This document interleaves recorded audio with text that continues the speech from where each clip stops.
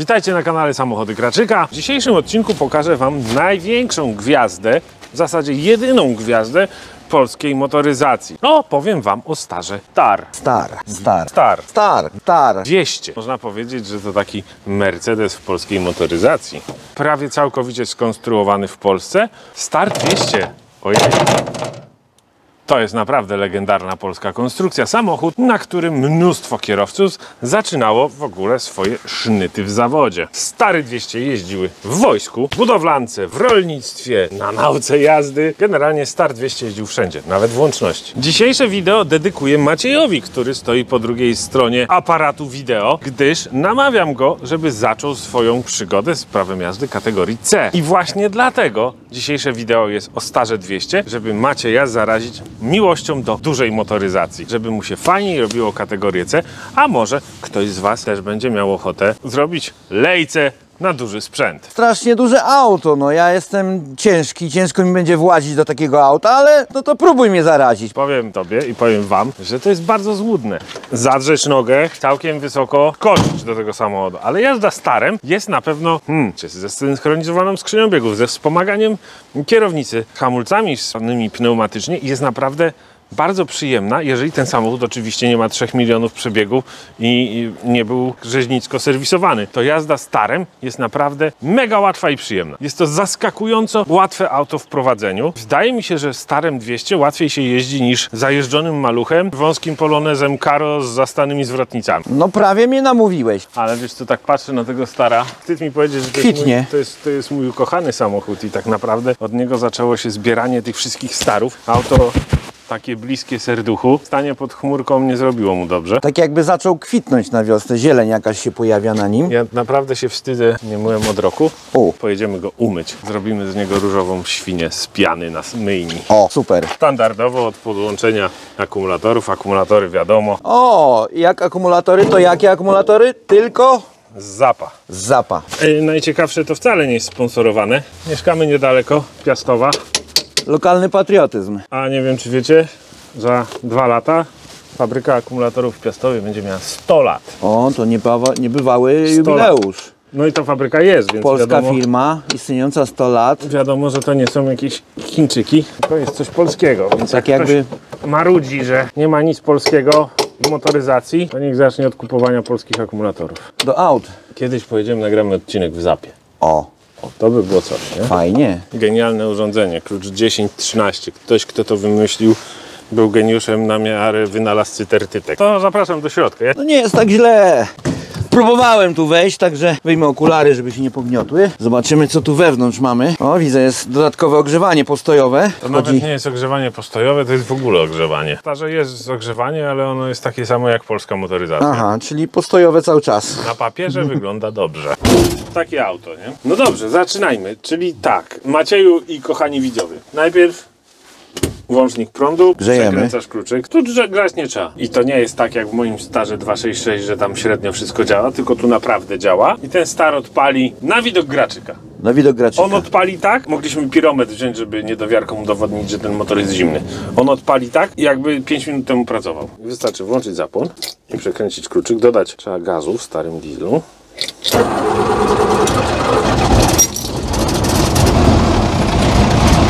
No i motor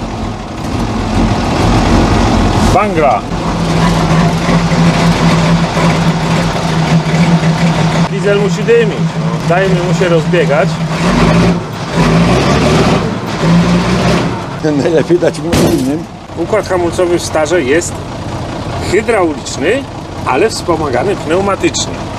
I w tym starze, w przeciwieństwie do stara 266, żeby ruszyć, musimy mieć powietrze w zbiornikach, bo inaczej siłownik od hamulca postojowego nie odpuści. Dźwignia hamulca ręcznego postojowego tak jest zapięta, tak jest zluzowany hamulec.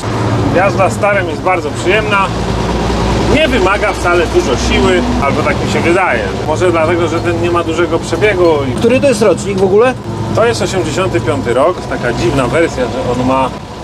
O, pyk i jest dwójeczka, gdyż kabina jest ze starymi błotnikami, ale z krótkimi drzwiami.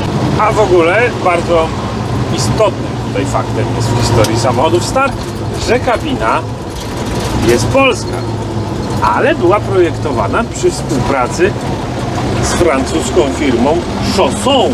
Może dlatego ona jest taka praktyczna. W pierwszych starach to była e, ZTF-owska niesynchronizowana, oczywiście produkowana w Polsce. Tutaj jest cz- Czczew. No to jest jakaś modernizacja tej niesynchronizowanej skrzyni. Pięć biegów i to już jest pięć biegów zsynchronizowanych. Jedynka oczywiście służy tylko do ruszenia z ładunkiem z ciężarem z przyczepą.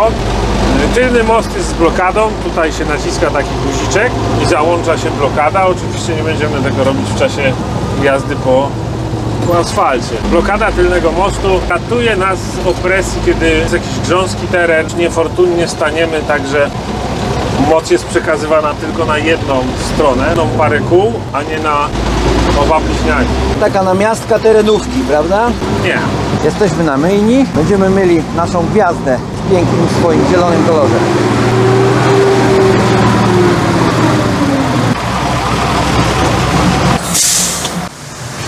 Dzisiejszym sponsorem mycia jest pan Maciej. Jak zwykle. Trochę tak. Osobówkę się myje za 5 zł, a stara za ile umyjemy metodą? Najpierw zrobimy z niego różową świnię. Za 3 zł. O, nie działa.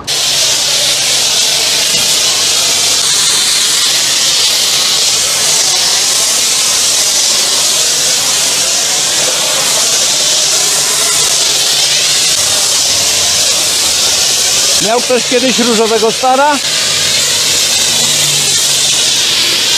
Stary z 85 roku, tak jak wspominałem w czasie jazdy, ma stare błotniki, takie jak w wozach przed modernizacji albo starzy 28-29. Ma już reflektory przeniesione w zderzak. Ten w ogóle ma reflektor pod przygotowany pod zaciemnienie, bo i on też ma pelotkę, czyli oświetlenie przeciwlotnicze. Ma stary wzór atrapy, ale ma wywiecznik i trzy wycieraczki, więc jest taki bardzo już dziwny. taki- Już są nowsze lusterka, takie same są w najgorszym polskim samochodzie, jaki jest Honker, ale starego typu jest klamka.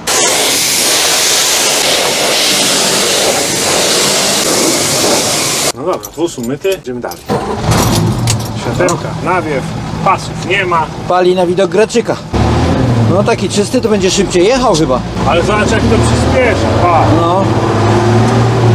W ogóle praca silnika jest bardzo taka przyjemna dla ucha. To jest wyścigowy samochód.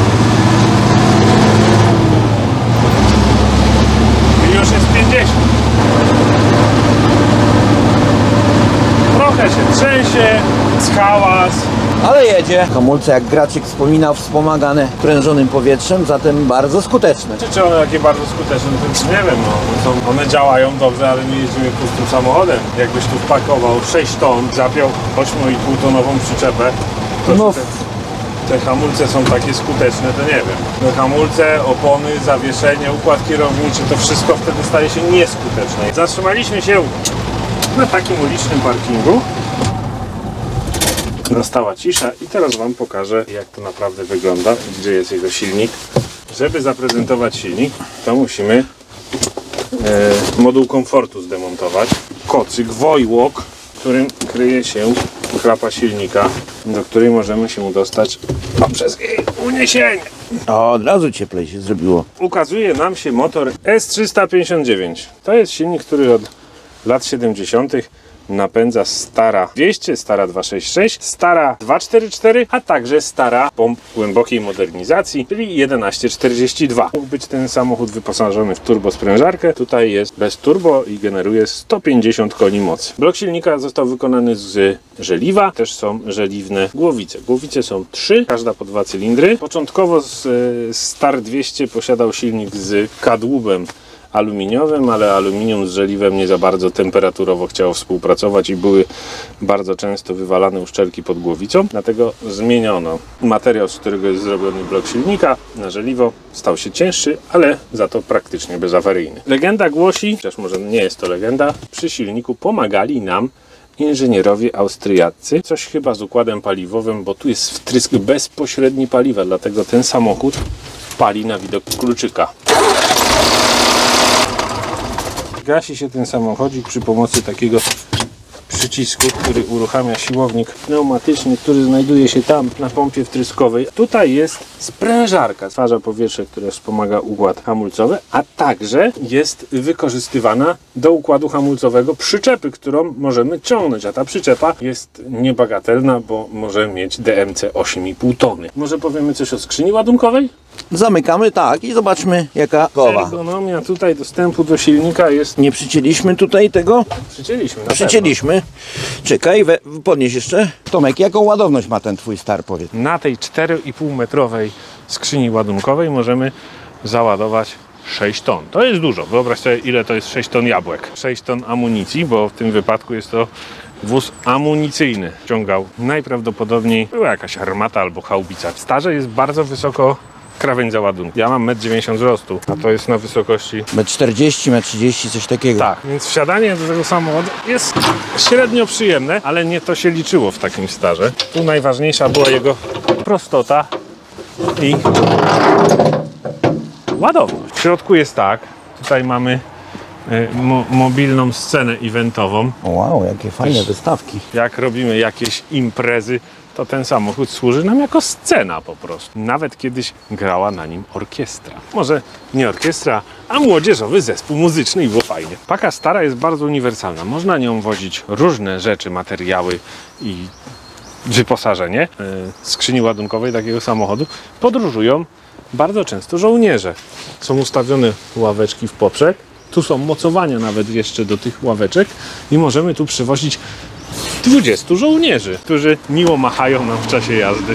No powiedz mi, czy wszystkie zabudowy stara były takie skrzyniowe? Czy były też jakieś inne wersje? Stara 200 wersji? Tak. Mnóstwo, wiesz, no jako podwozie do zabudowy to tutaj mogłeś zrobić i samochód strażacki i samochód dla milicji, tak jak mój star 200 WT, który możecie zobaczyć na innym materiale wideo. Jakieś dźwigi, podnośniki koszowe, wozy a- asenizacyjne, czyli szambiarki. Na starze 200 nawet chyba były betoniarki e, montowane. Czy star ma jakieś osiągnięcia sportowe, sukcesy jakieś? Na przykład pan Jerzy Mazur, którego kiedyś odwiedziliśmy w Wałbrzychu, ukończył Paryż-Dakar starem. O, to niebywałe. I ten star Dakar? znajduje się w Starachowicach w muzeum, a u pana Mazura w Muzeum w Wałbrzychu, y, w Muzeum Motoryzacji, które mieści się przy ulicy Ayrtona Senny. A co jest y, fajnego w tej pace, takiego szczególnego? W tej, Tak. no że ona jest i nie zgniła i samochód jest nie garażowany i on jeszcze jest, istnieje.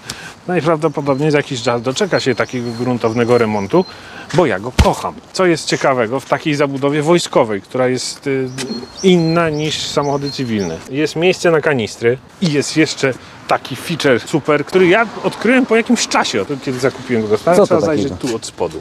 Cóż to jest? Tutaj od spodu. Zobacz, jest szpadel Wow. He jest łom. Wow. Co jest niefajnego, bo to... W... Nie fajnego, no Tak. w każdej ciężarówce trzeba w zimę wejść na pakę, zrzucić śnieg albo lód. To jest chyba najmniej fajne. Gabaryt tych samochodów. Oczywiście to jest mały samochód ciężarowy. Żeby zrobić tutaj cokolwiek serwisowego, trzeba mieć dużo krzepy. No i też są ilości. Chyba Do tylnego mostu wchodzi prawie 20 litrów oleju. Powiem Ci, że po krótkiej przejażdżce, powiem Ci, że namówiłeś mnie do robienia tego prawa jazdy na ciężarówki. Fajnie to wszystko wygląda, wysoko się siedzi. Ciekawa sprawa, bardzo łatwo się prowadzi, tak jak widziałem. No i i fajne jest to, że taki samochód kolekcjonersko to jest jeszcze dosyć tania sprawa, bo dużego Fiata już się nie kupi tanio.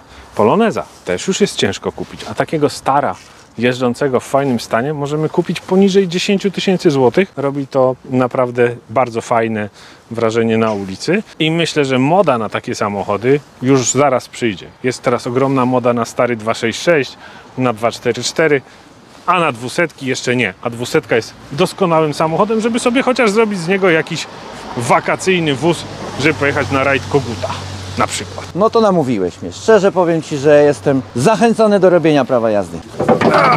Zamykamy naszą przestrzeń ładunkową i tym samym kończymy dzisiejszy odcinek ze starym 200 i namawianiem Macieja na zrobienie kategorii C. Jeżeli Wy też uważacie, że Maciej powinien zrobić kategorię C, napiszcie w komentarzu, a dziś, a dziś to jest wszystko. Nara.